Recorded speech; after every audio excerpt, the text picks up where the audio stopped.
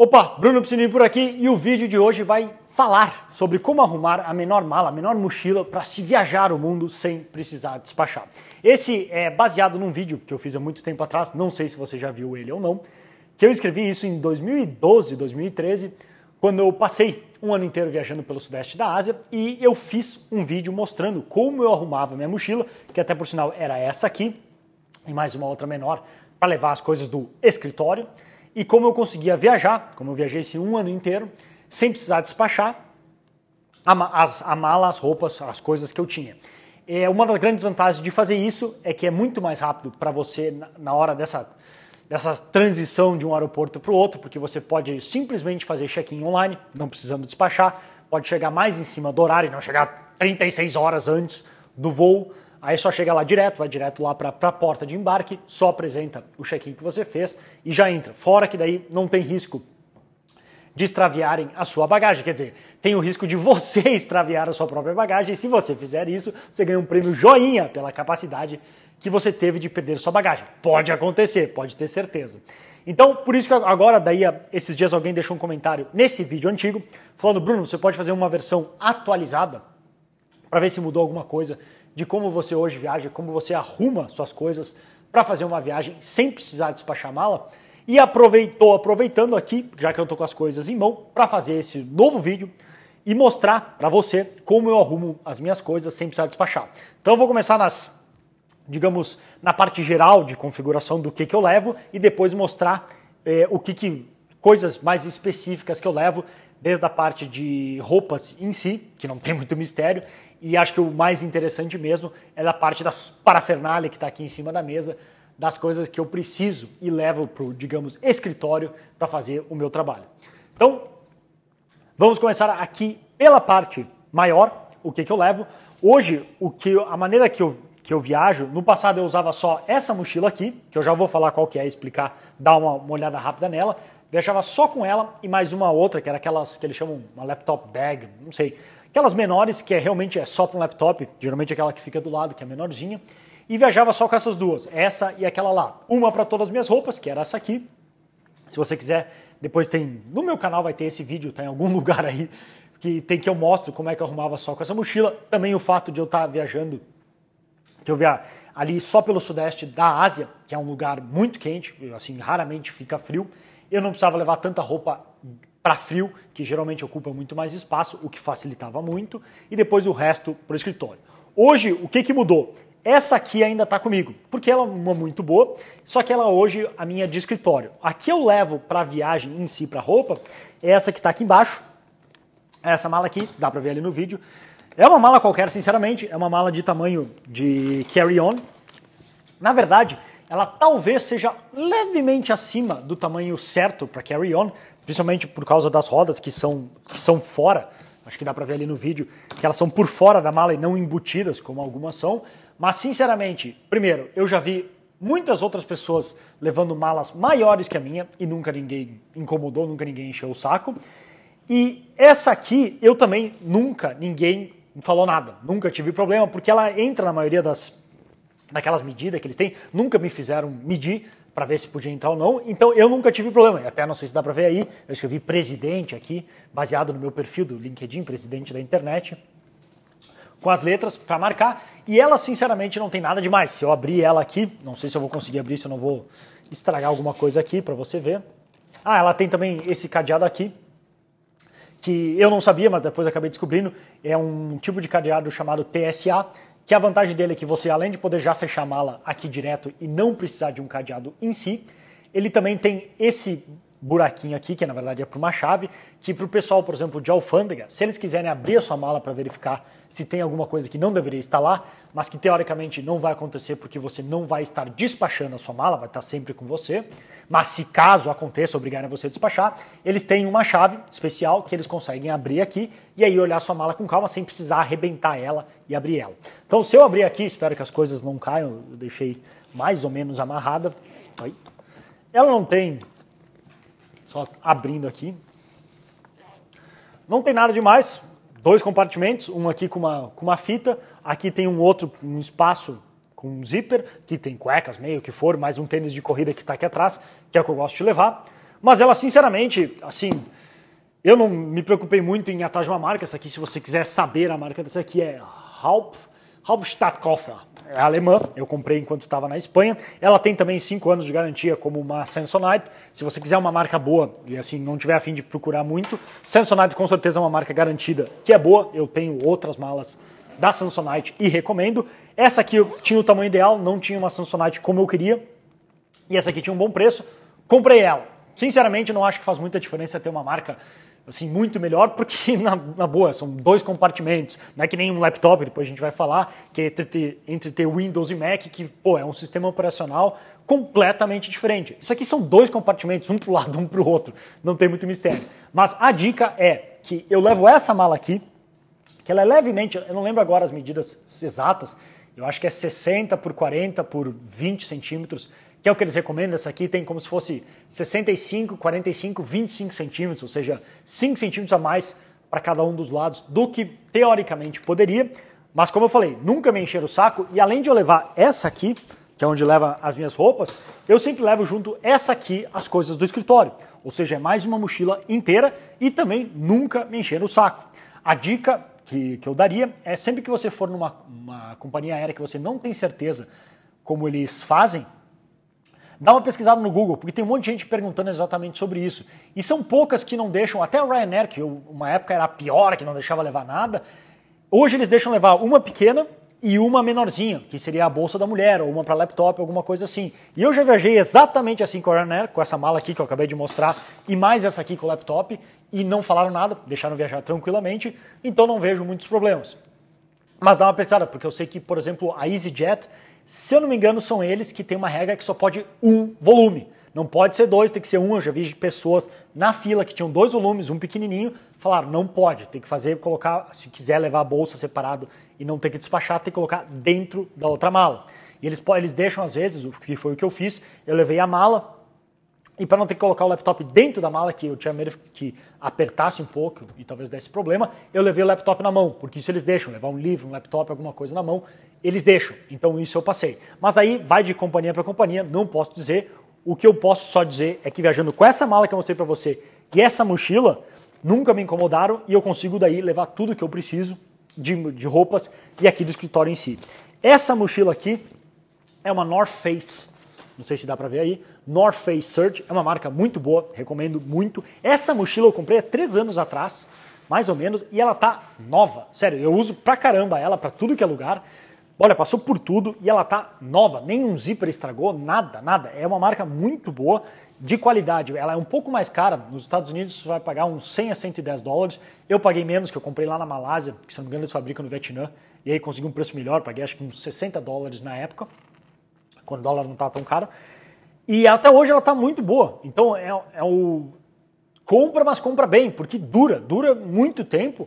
E essa mochila é muito completa. Assim, a, o design dela quem fez ela pensou muito bem, porque ela é toda compartimentada e funciona, olha, perfeitamente. Então, só para mostrar rápido aqui como é a mochila, depois se você quiser pode pesquisar mais sobre ela. É uma North Face Surge, não sei se dá para ver aí o nome, mas é S-U-R-G-E. Tem a, primeira, tem a Surge 1, que é essa aqui, e a Surge 2, que eu até indiquei para o Seabra, meu grande amigo. Ele comprou e é muito boa também. É bem parecida, na verdade, muda aqui na frente. Aqui na frente ele tem esse bolso que abre assim, tem um espaço aqui em cima para colocar, já que está meu óculos, o óculos de sol. Eu consigo colocar aqui dentro desse bolso para acesso fácil, que é muito bom, porque às vezes você só quer o óculos de sol e ele tá lá no fundo da mochila, é chato pegar, ele já fica aqui. Tem mais aqui dois bolsos. Até vou tirar uma coisa aqui para eu lembrar depois que eu quero falar para você. Dois bolsos aqui, mais um aqui embaixo e ele fecha aqui na frente desta maneira. Depois ele tem um segundo bolso aqui. Esse aqui é onde vai a maioria das coisas que eu digo do escritório.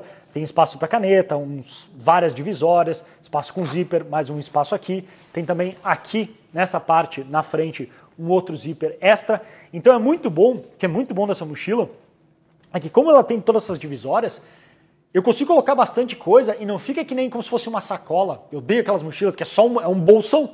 Você coloca tudo, cai tudo lá para baixo e fica incomodando. Essa aqui ela fica muito bem distribuída, por mais que você carregue ela. Então isso é uma grande vantagem.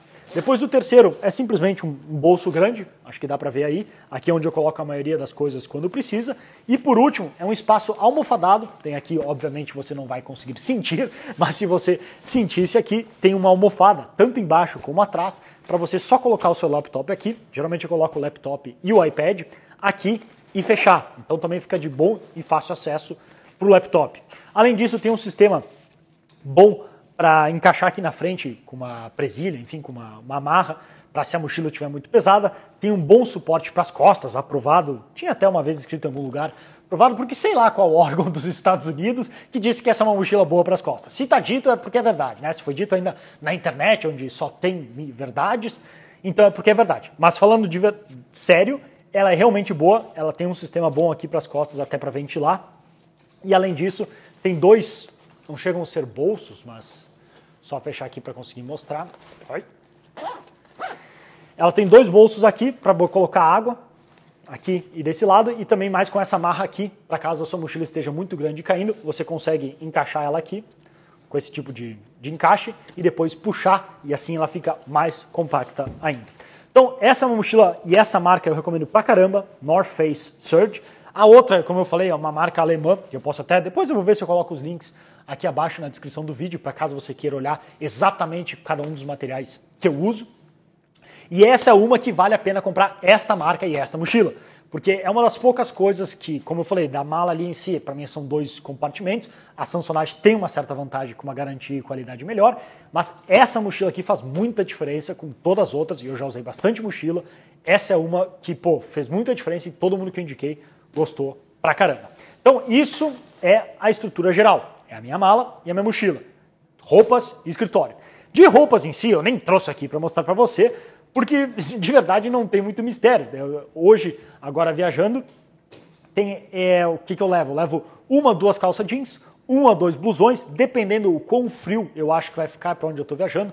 Por exemplo, agora em janeiro, fevereiro, eu quero fazer uma viagem para a América Central com a minha namorada e lá também não fica muito frio. Então fica mais fácil, a mala fica até menor, porque eu vou levar provavelmente só uma calça e um ou dois blusões. Eu não vou quase nunca usar, só em uma que outra ocasião, e aí é sempre bom ter caso precise. Eu já vi gente viajando até sem calça, mas eu acho que teve situações que eu precisei usar ou que ficou mais frio e que vale a pena. Ah, e eu esqueci, essa mala aqui, e até se você for comprar uma eu recomendo, ela tem um fecho extra que se eu abrir aqui, ela aumenta mais uns 4, 5 centímetros, ficando ainda mais fora da lei. Mas serve como, caso você precise aumentar porque não coube, você comprou alguma coisa, usou uma roupa mais pesada, você consegue aumentar, no caso dessa aqui, o tamanho que ela fica. Ah, uma dica, olhando aqui atrás, não compre como eu fiz, essa mala é boa, mas ela tem é, esse material que é, digamos, brilhoso ou que ele risca muito fácil e fica aparente, não fica bonito. Se você, possível, compre uma mala que tem um material meio fosco, que aí se risca. Aí é uma questão de estética, mas enfim, quando ele riscar ele não aparece, como essa, que agora já está ficando toda riscada. Então, essa é a estrutura geral, e agora vou mostrar o que está aqui em cima da mesa, trazer para perto de mim as minhas coisas, e mostrar o que eu levo de, em relação a itens para o meu escritório em si, do que, que eu levo para trabalhar e alguns outros itens. O primeiro deles é o celular que está gravando agora neste momento, e eu ainda tenho o mesmo celular desde 2013, que é um iPhone 5. E porque na verdade eu uso muito pouco celular, muito pouco mesmo, eu quase não me, tento me comunicar o menos possível por telefone ou WhatsApp, porque eu acho que é muito mais contraprodutivo do que depender de outros meios muito mais eficazes e também não gosto que as pessoas tenham acesso imediato e direto a qualquer hora da minha pessoa, porque isso também é contraprodutivo. Eu, eu gosto de poder, quando eu quero trabalhar, trabalhar, bloquear todas as distrações e só focar naquilo. Então, como eu não uso o celular tanto assim, eu ainda não troquei ele, está funcionando muito bem, obrigado. A única, único motivo que eu teria para trocar, que às vezes eu vejo que seria bom, é para pegar uma câmera um pouco melhor, principalmente essa frontal, como eu estou gravando agora, que ela não é ruim, mas as dos novos, do iPhone e até dos outros, tem uma câmera muito melhor. Mas não tem problema, por enquanto eu me viro. E nele eu conecto, e depois eu vou colocar um link aqui, porque obviamente agora eu não consigo mostrar para você, porque está encaixado ali, um adaptador que eu consigo aí ligar o microfone de lapela, que é esse aqui que eu estou usando. Esse aqui é um Ultra Disc 4016, eu comprei pelo eBay da Inglaterra, se eu não me engano, e mandaram para o Brasil sem problemas nenhum. É um microfone até baratinho, muito bom, e não tem, não tem, não precisa pilha nem nada.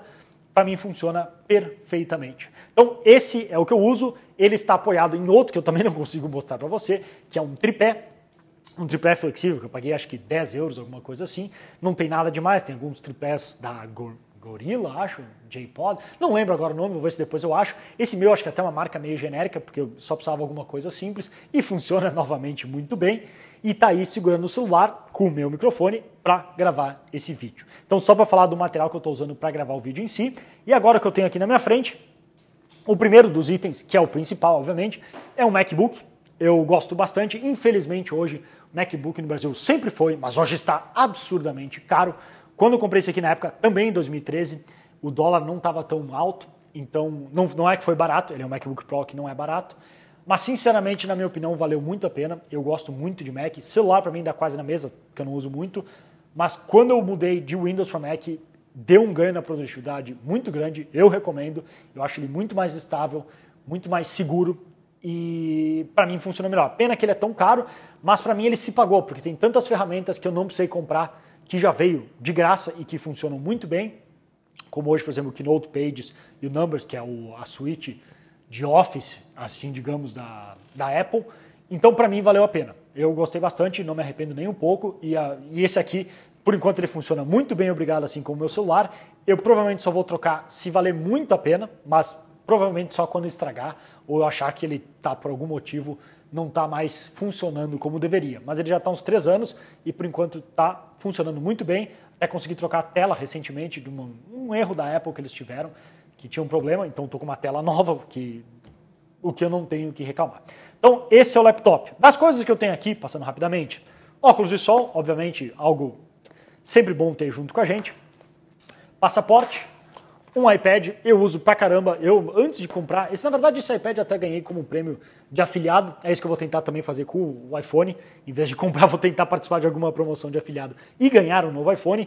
Antes de ter um iPad, eu achei que eu não ia usar muito. Depois que eu ganhei, eu uso demais, mas demais mesmo. Seja para ler besteira ou, na maioria dos casos, para ler livro, porque tem muitos livros que ou no Kindle, que eu tenho um também não ficava muito bom, ou alguns, às vezes, PDFs que eu queria acessar e baixar reportes de algumas pessoas que eu acompanho e que eu consigo colocar através do Dropbox, só passo no meu computador, venho aqui direto, abro direto no, no iPad pelo Dropbox e leio. Então eu uso pra caramba, para muita coisa, até para ver vídeo no avião, uma coisa assim. Das outras coisas que eu tenho aqui, eu tenho essa câmera, que às vezes eu levo ela comigo, que ela é um pouco melhor, não sei se você consegue ver ela aí, ela é um pouco melhor, com uma imagem um pouco melhor que o iPhone em si. Mas eu fiz a proeza de esquecer de. Eu trouxe um adaptador errado aqui para os Estados Unidos, porque esse aqui é um adaptador, na verdade, para Europa, entrando dos Estados Unidos para a Europa, e tinha que ser ao contrário. Então, como a câmera está sem bateria, eu estou gravando agora no celular. Essa aqui é uma Panasonic HC V720, é muito boa, tem uma qualidade muito boa, não, acho que eu paguei na época uns 500 dólares, então não é a mais barata, mas para a qualidade dela valeu muito a pena e eu tenho usado sempre que possível porque ela tem uma qualidade um pouco melhor. Esse aqui é o carregador dela, voltando aqui para o lado. O que mais eu tenho aqui? Isso aqui é algo bacana, quem me indicou foi o João Pedro, o fundador do Hotmart, e é uma caixa de som que se chama JBL Flip 2, eu acho que essa aqui é, JBL Flip 2. E ela é muito boa porque ela conecta com Bluetooth, e até você pode atender o celular se você quiser através dela, o que eu não faço, mas ela é muito boa para, por exemplo, colocar um som melhor do que só do laptop, porque do laptop, obviamente, ele é limitado o quanto, quão alto ele consegue o som. Esta tem um belo som. Ela é uma caixinha assim, relativamente compacta, vem com esse estojo. Então, em algumas viagens eu costumo levar, se eu achar que tem espaço, porque é bacana ter um, uma maneira de ter o som um pouco melhor para conseguir ouvir quando estou em algum lugar, ou no hotel, ou o que for, em casa. Esse aqui é o carregador dela, um adaptador simples tem ali a marca escrito JBL. Essa aqui é a caixinha dela, botar para cá. Uma carteira preta, não tem que explicar, tem dinheiro e cartões de crédito dentro. O que eu tenho mais é um HD externo, tem até aqui o cabo dele. Um HD externo, esse aqui é da, da Western Digital, acho que é o nome. Na época eu pesquisei, eu lembro que ele tinha, eu geralmente pesquiso pela Amazon, tinha boas reviews, tinha um tamanho bom, não precisava de um carregador externo, como eu tinha um antigo que era ridículo, e tem acho que um tera de, de espaço. Acho que é um tera, depois eu coloco aqui, mas é uma boa marca, nunca me decepcionou, tenho várias coisas aqui guardadas e sempre levo junto para ter um espaço extra para não ter que deixar tudo só no meu HD. Ainda mais porque trabalhando com vídeos, eu guardo os originais e esses originais às vezes dá arquivos de 2, 5, 20 giga, uh, gigabytes. Então eu coloco no HD externo. Esse aqui é um pequeno adaptador diferente desse que eu estou usando para o celular, mas parecido, que é para quando eu quero, eu levo, porque ele é pequeno, e quando eu quero gravar entrevista, eu consigo conectar e ligar dois microfones nele, o que é muito bom para gravar uma entrevista se os dois tiverem microfone de lapela. Ou se não, eu uso este aqui, que é um Zoom H1, é um pequenininho também que eu levo. Tem outros maiores e melhores, mas o que eu gosto desse aqui é que ele é compacto. E eu também e também dá para colocar tanto aqui num suporte com no tripé, por exemplo, dá para conectar o microfone, tem várias configurações de som e aumento de volume, e às vezes para gravar a gente ou simplesmente segura ou coloca assim em cima da mesa, e aí ele tem entrada apontada para os dois lados para fazer uma entrevista ou gravar alguma coisa extra. Isso aqui era só um, uma sacolinha que tinha um microfone que eu tirei antes. que mais eu tenho aqui? Um bom barbeador, obviamente, para, para fazer a barba. Esse é necessário sempre levar, porque eu não vou ficar um ano sem fazer a barba. Esse aqui eu levo sempre na mochila, mas não uso o tempo inteiro, que é uma máscara de sono, para quando tem viagem de overnight, alguma coisa assim que vai vir à noite. Ajuda pra caramba para não ter que ficar acordando o tempo inteiro com as luzes do avião, ou em algum lugar se você tiver que tiver muita luz, e também uma, aqui tem outra máscara até, uma daquelas, como é que chama? Uma almofada inflável, aquelas que vai ao redor do pescoço, que eu consigo dobrar e deixar guardada ela aqui pequenininha, e caso esteja um pouco desconfortável ou no ônibus ou no avião, eu consigo inflar ela soprando e aí usar no pescoço para dormir melhor. O que mais eu tenho aqui? Esse aqui é um, ah, um microfone, esse microfone da Apple que vem com o iPhone, eu gosto de levar ele, porque ele é, o microfone dele é bom para gravar vídeos. Às vezes eu uso ou gravo com o microfone dele ou com esse aqui de lapela, funciona muito bem, não precisa mais que isso. E também para quando vai fazer Skype é melhor porque daí o som fica perto aqui da garganta, da voz. Um cabo de carregador de iPhone, o carregador do iPad que eu uso com um adaptador eu coloco, só as coisas básicas, já que está aqui em cima. Esse aqui é o cabo do, do JBL Flip, do som, duas canetas, não sei porque duas canetas, uma azul e uma preta, acabaram sobrando na mochila, mas realmente sempre vale a pena ter pelo menos uma caneta na sua mochila, porque uma e duas você precisa, ou para preencher formulário de imigração, ou para fazer alguma outra coisa. Então, vale a pena, recomendo ter. Isso aqui é uma pequena caneta para desenhar direto ou escrever direto no iPad. Eu tenho ela aqui, eu comprei uma vez, ela é bastante útil, fiz até uns vídeos com ela para a Universidade de Alta Performance, ficou bacana. Permissão internacional para dirigir, eu fiz essa porcaria e acho que nunca, nunca pediram para olhar a internacional. Até quando eu fui alugar um carro recentemente, eu entreguei essa aqui porque estava mais à mão e a mulher me pediu a original, a brasileira, aquela carteira. Tá então por que, que eu fiz isso aqui? Porque tem um custo para fazer essa porcaria e nunca usei. O adaptador errado que eu trouxe sem querer, uso o meu um, fone de ouvido, que eu gosto, é um assim. Eu gosto porque ele tem essa, eu gosto dele para fazer esporte porque ele tem essa parte aqui que encaixa na orelha e fica, fica melhor, ele fica firme. E ele tem também, pode ver que ele é mais gordinho aqui, ele bloqueia o som, não é que nem aquele da, da Bose, que é Active Noise Cancelling, que ele emite um som contrário para cancelar o som. Isso aqui ele só bloqueia e é bom porque como eu corro na rua, ele não bloqueia totalmente o som, porque é perigoso se vem algum carro, alguma coisa, estou distraído e eu não ouvir. Pois eu tenho aqui um, um pequeno pano de microfibra, e ele é de microfibra porque ele, ele é melhor, ele, ele puxa melhor a umidade, a sujeira para limpar a tela do computador, óculos e outras coisas. Então ele é um especial, ele é de microfibra, vale a pena. Tem até uma toalha que está aqui dentro de microfibra, que é uma toalha que você consegue dobrar, ela fica pequenininha e para caso o hotel, a casa que eu esteja não tenha toalha, eu consigo ter ela.